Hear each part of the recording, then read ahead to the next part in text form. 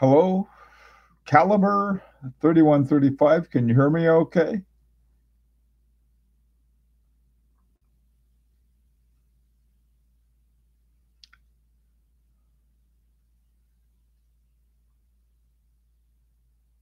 Hello? Can you guys hear me all right? Hi, Eric. Can you hear me? Is the sound all right? Hello, hello, hello. Okay, you can hear me great. Okay, good. Thank you, Scott. Uh, hi, howdy, and Dan, and uh, how's everyone doing? I, I today is uh, what I wanted to talk about was I hey Forrest, um, what I wanted to talk about is, is really a couple related things and this has to do with, and I really need your opinions on this.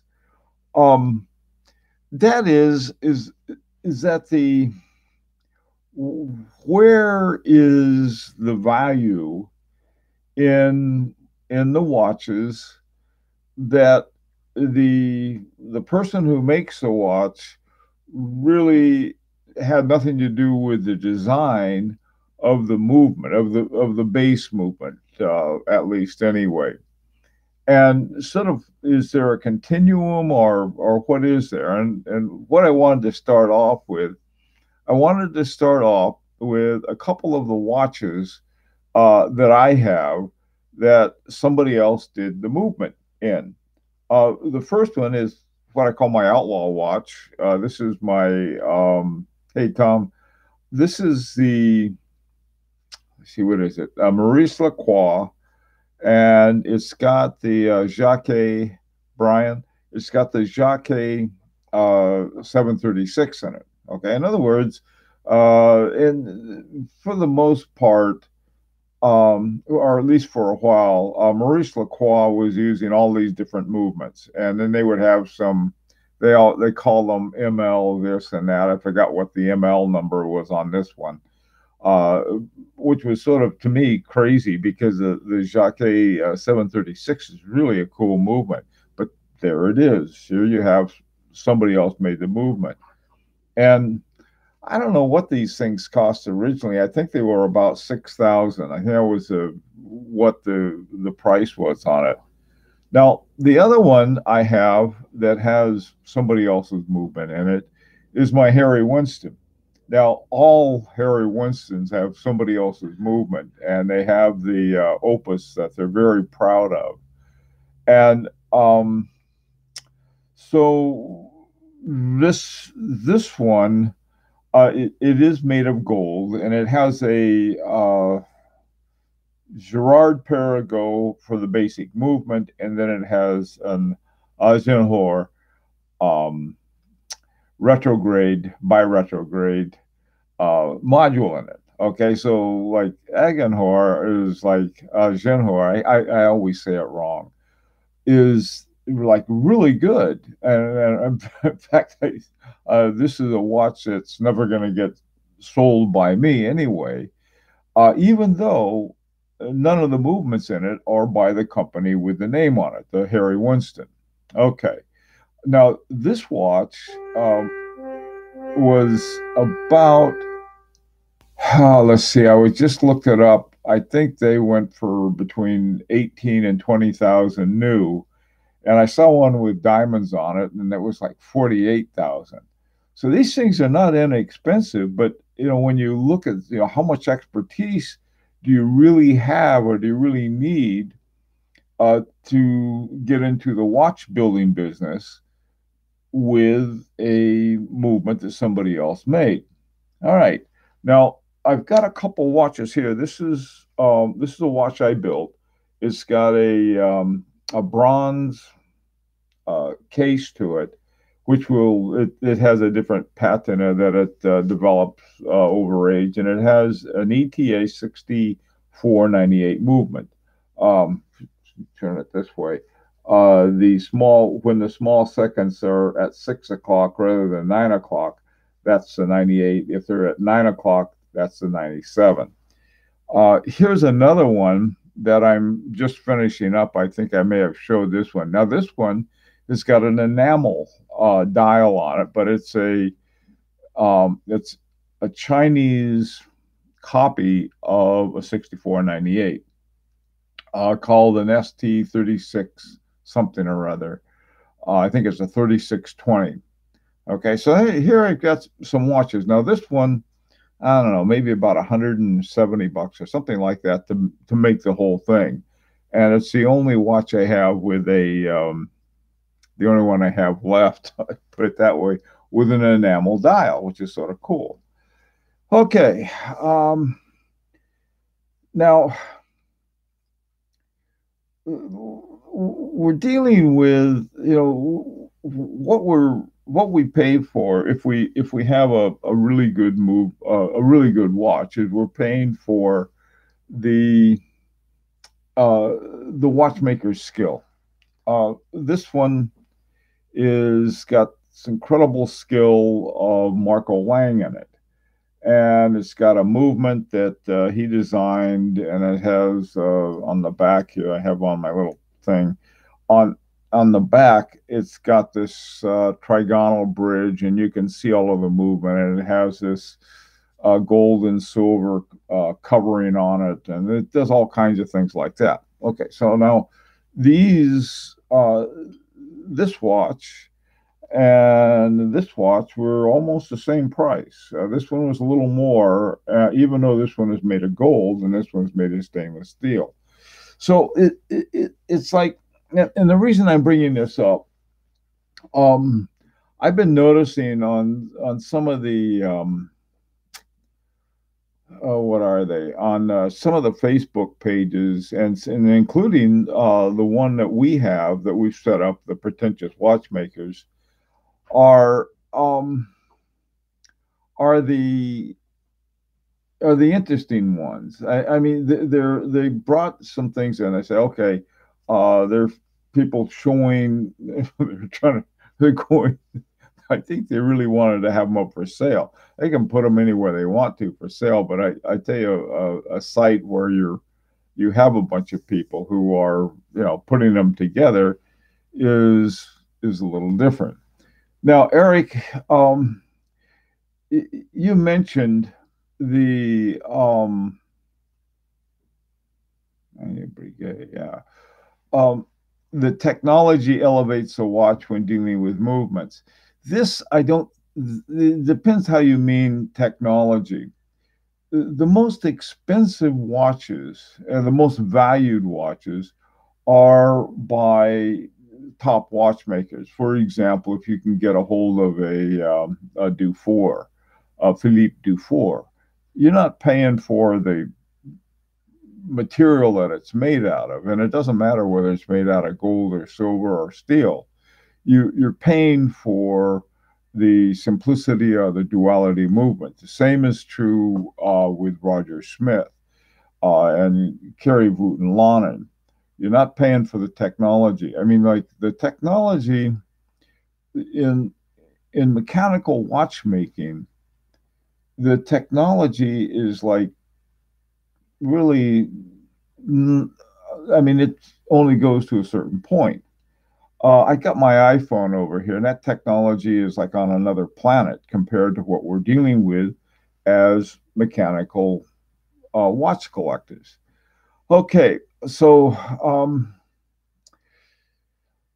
this is sort of what I wanted to kick around is that you know where do we where does watchmaking come in? uh, I don't consider myself a watchmaker. That's how come I named it the pretentious watchmakers to keep us reminded exactly what we are.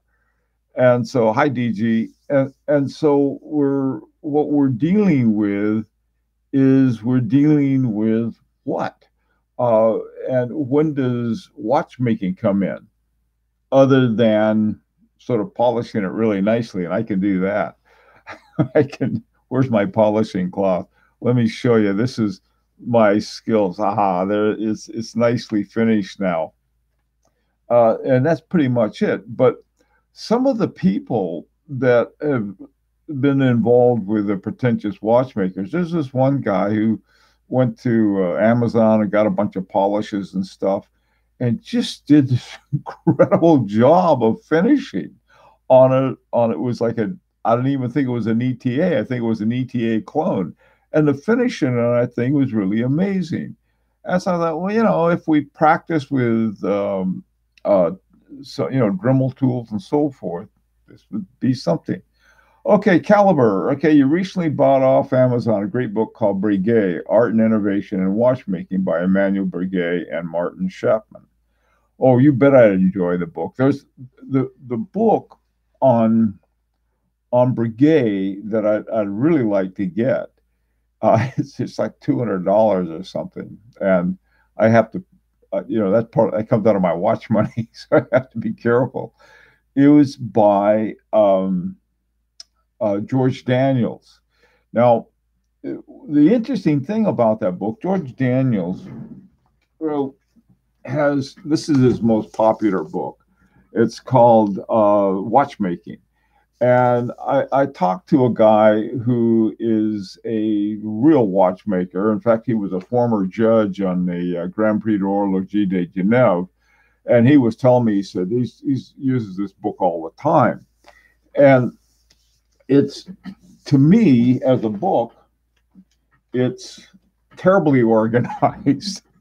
Here's a reference on page five, and this is figure 53. And so you go to, you have to dig out to the book to find it. I mean, as a book, it's not well organized, but the information in there and the skills and the techniques are just amazing. But F.P. Journe, who considered himself a, a student of George Daniels. In fact, he dedicated a watch uh, that had two from uh, to my mentor George Daniels. The book that he used was the the one that Daniels did on Breguet, um, and so this is Breguet. You can see that throughout everything that uh, F.P. Journe has done. Not only F.P. Journe, but a lot of other uh, watchmakers. So I mean, like we're we're, we're nowhere near that level. Uh, here here's why. These guys are making their own movements. Uh, you take FP Journe's, uh, the one that I have is called the Resonance, and uh, I forgot the guy's name who and who first brought it up in some clock that he made, but then he made the made the movement itself. The people we're talking about, they're buying the movement, putting it in a case, putting on a dial, putting on the hands. Now, whether they make the hands and the dials and so on and so forth, um, that sort of to me is is where the level goes up. JEJ, how you doing? Um, so, what? Where do we, you know, where do we have that now? One of the uh, comments that was on the other day uh, about the uh, thing how building a military watch. I had a picture of a guy's watch named Vice or somebody like that. Guy in L.A. who um, who uses or did use, I'm not sure, or he has he developed his own movement. I think at, at some point based on a 64, 97, or 98. One of those one of those watches. Um, yeah. Uh, hey, John, how you doing? Uh, the so, so, so I guess what I'm asking is that you know uh, people have asked me, so well, you know, you're going to sell your watches, and the answer, I have no plans to do that. I just sort of going to make them. That's the fun part, and then I'll have them around. Uh, the first one I did was one of the best ones, and again, it was another one with a um, uh, an enamel dial. I gave it away to a friend so, I mean, this is sort of the way I see it. I talk to other guys who do it, and they have it. You know, their their their long suffering kids get watches for birthdays, Christmas, everything else that uh, their uncle made. Okay, um, now, uh, Eric, you bring up a good point about getting a really good movement, and uh, most of the stuff that I've been dealing with uh, is like okay, they're they're they're pretty standard horology movements, uh, such as an ETA or a, a, clone of an ETA, such as uh, the ones that Seagull makes and sells for 30 bucks on eBay. Okay. All right. Now, if you could get a uh, an El Primero uh, tegimented submerged steel case, I'd easily pay the cost of any IWC model. Well, okay, fine.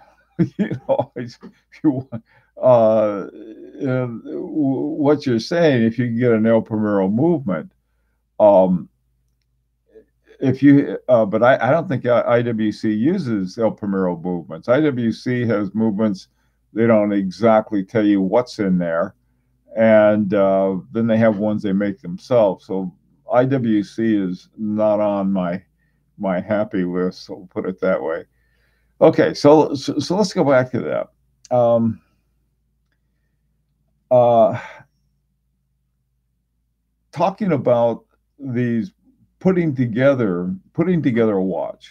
All right, now, like I said, now, this one uses a a good movement, a good solid movement in Girard-Perregaux, and a great one in that uh, the Agahua. That's one. That's one level of watch. They make their own cases and and some other things like that. But I mean, let's face it, Harry Winston is more of a watched uh, platform. Okay, they have every year they have this thing called the Opus uh, ones, and on the Opus ones they they invite a watchmaker to have his Opus watch. Uh, the very first one was FP Journe. FP Journe had the resonance. I think it was a resonance that he put in there uh, or or something like that. One of one of those. Then every year he has a they, they have a different watchmaker that does it. Okay, IWC Da Vinci Rattrapant is a great movement. Okay, uh, DB, DGB. Um, first of all, did IWC make the Da, Vin, da Vinci uh? Is that by them? Split. I know what a Rattrapant. Okay, split second perpetual uh, calendar. All right. Uh, did they did they do everything in that? Yes, no, or did they get it from someplace else? On on the uh, uh, on that on that particular movement. Yes, no, you're not sure. Okay. The point is the cost value is horrible when buying an IWC. It doesn't make sense. Okay. Probably not everything. I don't know what they did. Now, uh, no, DGB, let me give you another example. Uh, if you know what that cost, uh, uh, please tell us. That, that would be interesting. Uh, on the other hand, there was the the winner of the Petite Aiguille this year again was Habring two with a Doppel. And he used, uh, uh, Richard Habring used to work for IWC and help them develop that split second that you're talking about. So this this last couple years, they came out with one with his own movement, the A11 that uh, that Habring 2 has. Okay, so it's it's wow, 17k for uh for that. Now uh, Richard Habring's is half that. It's about 8,000. And so here you have, uh, and you're the IWC. You're not too sure about on the uh, on the Rattrapant, but I can tell you who do, who who did the Rattrapant High Deacon uh, is is Richard Habring, and this was about God, I don't know, 10, 15 years ago, something like that. Anyway, okay, if a respectable movement in a watch with more advanced case designs, I'd be willing to pay more for a watch with more horological history. Okay, um, that's that's that's another thing. But one of the sort of a point, I guess, or a place I've come to, uh, to some extent, is that after after making uh, a number of these watches myself, it's it's not easy. It's not super easy. That's how come I have the the military watch. Those are pretty straightforward. uh, and, and what we're going to do. Uh, the the kinds of problems you can run into, you have to be careful. And if you run into a problem, a little watchmaking uh, background helps. And it's, what really helps is having somebody else that you're doing it with. And this is how how come I hope to have it as a as a group uh, endeavor that we could do. We could work on something, uh, not this particular one, but one that uh, the military. Now, I've already ordered my parts, and one I already have, let me get it, is the movement. Okay. Um, this is what the movement looks like, and I forgot what it was. It was 30, 40 bucks, something like that. I now you, you you're gonna there are watches on the market that people charge, you know, 10 times that amount for with this exact same movement. And then I we got the case on order and uh, see what else the dial and the hands, and that's it. And so we we we take the movement, we put it into the case, we put the dial on the um, on the movement. It's on this is the dial side right here, and and and that's pretty much it. Now on the other hand, when when you know, when is it that somebody says, okay, well, they're doing the same thing and they're charging you an arm and a leg for it? you know, I, I, I, I uh, that part doesn't make a lot of sense unless they have a really good movement. Um, one of the ones that seems to be going to other than Parmigiani that makes a good movement is Vaucher. And so if I had a Vaucher movement, which I hope to, uh, what I what I'd like to do is to then make a, a watch that somebody goes out and they ask twenty thousand dollars for, but do it for like a fraction of that. Okay, so let's talk about our military watch. Okay, raise your hand if you're going to be involved or you'd like to be involved in this military watch project because that's going to be fun. I don't have a military watch uh, unless you count my old Bovet uh, uh, Pont as a one. Um, so you guys, uh, who's who wants to be involved in that? And uh, there was a there's a whole list. We've had a number of people who've added. Um, there you go, Tom. the there are a number of people who have uh, recently joined Pretentious Watchmakers. That would be cool okay, you're going to lurk. That's fine. You know, I, I mean, it, it's Airtobe, you're going to watch me screw something up and then say, oh boy, I'm, just looking for now. If it, if I get lucky, hi Neil. Uh, if if I get lucky, okay, I have ten vintage military watches. Oh, hey, well, Forrest, I tell you what, you can be an advisor then, a military advisor. Either that or make one with us. Uh, hi, Alman. Uh, John. Oh, great. You're going to be involved too. Uh, that's that's really good. Um, Wyven, hello 07. There you are. Uh, we we've been talking about what it, what is involved in this. Anyway, we, we're switched over now to a bit. We're talking about the actual project of making this uh, making a simple military watch. Okay, so uh, this is where I, this is what I've got. I've got I've ordered the other stuff for it. Hey, Mustafa, I've ordered everything else for it. I've ordered the uh, the dial and the case. By the way, too, uh, I found and I put this on Pretentious Watchmaker's site. The hey, crappy, the uh, and and uh, I went from a 44 to a 42 millimeter. I, I know that's not a lot, but uh, uh, sort of like them a little smaller. Hi, Renee. Um, oh, oh, wow. Okay, you can you contacted the Concepto Movements Factory in Swiss. I could order small quantities. Hope on good news. Yes, yes, yes. Okay, uh, Renee, what kind of movements uh, does Concepto have? Okay, how do you define a military watch? Well, right now, whatever whatever force cop says it is, a military watch has uh, there's certain kinds of dials that they have. It's it's pretty much a watch that has the look of the military watches. We're using a PVD uh, case. Um, who's asking about that? Where are you? Where are you? Where are you? Eric. Yeah. Did you see the video, Eric, on how we're putting a military watch together? Hey, Nelson. Um, do you have the water resistant testing machine? yeah, it's, it's called my bathtub. I'm not going to be doing that part of it.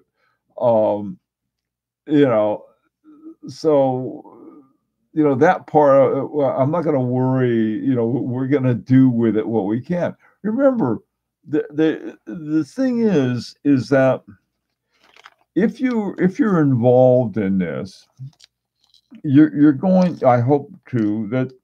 And and once I get all the parts, we can start. Now this is going to take a, it takes about a month to get everything I need from China. I mean, it, it is slow, uh, but you save a lot of money doing it that way. And I'm hoping that all of mine come together. I, I got a uh, an email from um, uh, that place that we had looked at. What's it called? AliExpress, I think. And I said everything's been shipped. I just ordered it yesterday. So um, you know, we, we may able uh, may able to get a little sooner this time. Okay, can you fire a shotgun first while wearing it? fire a shotgun. I don't have a shotgun. I don't have any guns. I used to be a really good shot, though. I have I got a whole bunch of medals from shooting from way back when. Oh, that was a long time ago. Um, but I don't I don't do that anymore. Um, it was it was too inexpensive, and so I took a watch collection. okay, so uh, you know what can we learn from this? I mean, what can we learn from a couple different things? Is is one is that uh, people who make watches, but they're using other people's movements, and what kind of improvements can they make? Is there what kind of improvements could we make? For example, uh, maybe we could figure out how to. One thing I was working on was how to how would you enamel a dial? It's not that hard. I found out. Uh, so that might be sort of cool having enamel dials or really good lacquer ones. What kind of lacquer is used on a on a top notch dial? Um, maybe we could even make our own hands. AliExpress said in the video, right, a subdivision of Alibaba. Okay, hey Tom, thank you. I I I didn't I I mm, that sounds right and in the sense that I knew that, but I wasn't sure. So thank you for you know uh, verifying that. Okay, now let me see. Okay, we got. I'm gonna check. How many of you have? Uh, let's see. Tom, you're going to be involved. Who else is going to be involved in this? Tom Nelson, was that thumbs up? I mean, you're going to be involved in the uh, project, or just, hey, how's it going? How about and Jan? You are too, right? This, this, and this will work. Anyone else? Uh, Forrest, what are you going to do? You got a bunch of uh, watches. We need a military advisor, military watch advisor, Forrest. you're going to be the guy. Um, Nelson, you are okay. Good. Uh, Eric, silicon. Uh, I don't want to hear about silicon things. Should be considered de facto. No, they shouldn't. There's they they shouldn't be considered de facto. Eric, it, here's why. Okay, we're mechanical. We're into mechanical stuff. Um, I know Rolex is using a uh, silicon uh, hairspring that's great. They they're very accurate, but you want accuracy, get a quartz. This is not for accuracy. This is for I don't know what you'd call it. Art. This is art. This is for the artist in you. okay. Um, Jan, you're going to be there. Good. Forrest, I want to. Want to get an answer from you. Not an LOL. You're going to help us, right? I hope. Oh, good, Renee. Good. I'm glad you're going to be with us. It's still mechanical. How do you define mechanical? It's not made out of silicon. How's that, Eric? There's no silicon in it. um, the um, okay, great, Forrest. That's good to see. Eric, uh, you, you, we're gonna we have to turn you back into a savage all right we want a sa- we want we want sort of like um oh god it's uh, i was gonna i was wondering if they were on the periodic table me- uh, metals that we're using. Any any metal oh see the thing was with silicon i, I worked for years with computers uh, and programming and so forth and i have nothing against silicon nothing at all. I mean it's great it's, it's, it's just an amazing substance.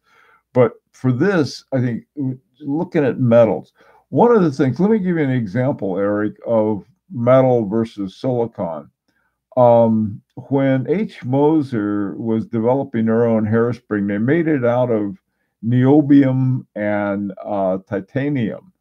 And uh, niobium is very popular because it's used, it's, it's uh, non magnetic.